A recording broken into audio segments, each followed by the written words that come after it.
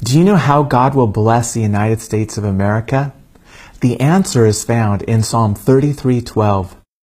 Blessed is the nation whose God is the Lord, and the people whom he has chosen for his own inheritance. The opposite is true too. Cursed is the nation whose God is not the Lord. That's why we must stay in covenant with our founding fathers that the Lord is the God of the USA and Americans are his people.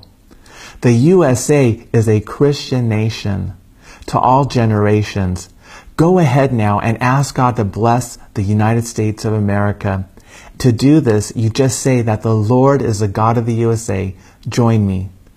Father, you, the Lord, are the God of the USA, and Americans are your people. We pray this in Jesus' name. Amen.